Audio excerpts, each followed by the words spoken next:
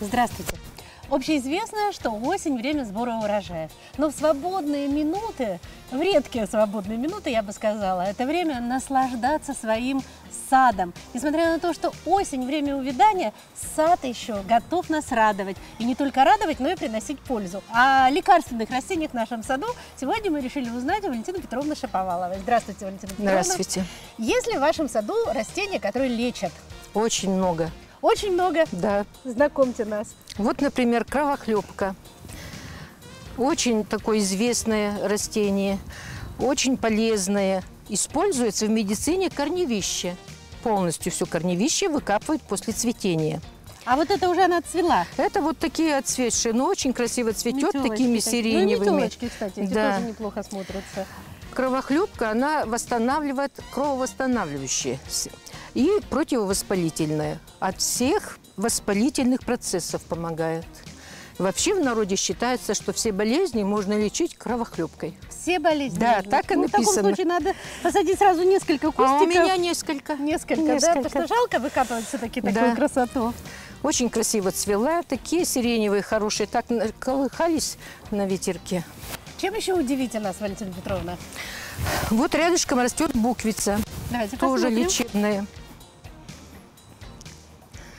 То есть и цветок, она цветет или это Она листья ц- просто Она красивые? цветет. Она, у Цветет. нее и красивый очень лист. Сейчас осень, он уже, конечно, потерял свое, он с выработкой очень с глубокой. Э, Используется, красивый. да, для лечения используется трава во время цветения. Вот э, листики и столбики эти от листиков. Значит, от воспаления почек, мочевого пузыря и вообще всего кишечного тракта от воспаления. Очень хорошая трава и во время цветения и цветочные стрелки. Но использовать ее можно и в сушеном виде. Наверное, можно, конечно. Любую же траву можно сушить. То есть присмотритесь повнимательнее к своим растениям, и, возможно, вы найдете одно из лекарственных растений у себя на участке. Ну, а это растение мне знакомое, все время его завариваю в чай. Это тимьян ползучий Полезное? очень. Или, как называют, еще богородская трава. Даже здесь чувствуется его аромат, хотя Вот вот такое во- маленькое, но издает такой Во время цветения аромат. нужно обрезать, во время цветения, Сами и- цветочки? И цветочки, и листочки. Очень хорошо от кашля. От кашля. И если у маленьких детей золотуха, то в ванночке, Купать? да, купать, вот в, в настое настаивать, в ванночку добавлять и ку- купать детей. Очень помогает от золотухи. А я Ну, вообще сказать- от кашля. Насушено зимой, я только им пользуюсь всегда. А я хочу сказать, что уже проверено мною, что очень поднимает настроение этот замечательный тимьян. Прекрасный чай и А какой запах. после него. Очень красивое растение. Такое оно не, не- так не мешает, низенько, не подвязывать ничего не надо. Ну, кстати, да, не стоит забывать о том, что это действительно украшение для сада. Вот знакомое мне растение безвременник, неужели оно тоже полезное?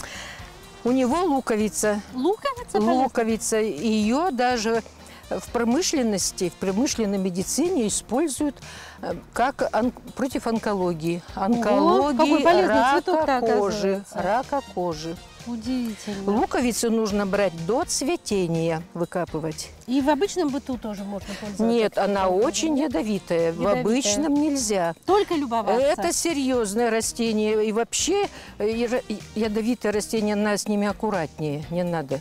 Это промышленность выращивают специально и делают препараты, которые лечат рак кожи.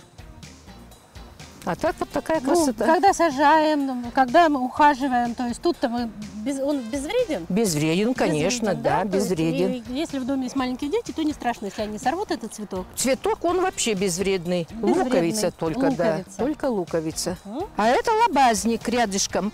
Вот лобазник, он очень красиво цветет, такими красивыми, э, как жемчужинки розовые, выпускает стрелочку высокую. Но это лобазник, это значит природный аспирин. И Жа- как его да, очень в нем интересно. вообще ацетиловая кислота. И он жаропонижающая, мочегонная, патагонная. Это вот просто таблетку аспирина выпил и все. То есть его можно в чай заваривать. Да, да. Замечательно. Это Запомните, природный лобазник. аспирин. Ну, как в природе дикий, он таволга. Таволга. да. Беленькая такая, и по дорогам около речек растет. А это вот э, такое культурное, но это все такое лечебное. Вот еще одно редкое растение называется шлемник. Его в косметологии. Крем, из него изготавливают крем для лица, чтобы у женщин не было морщин. Спасибо огромное, Валентина Петровна. В Пожалуйста. ближайшие выходные отправляюсь к себе на дачу искать полезные растения. И всем советую.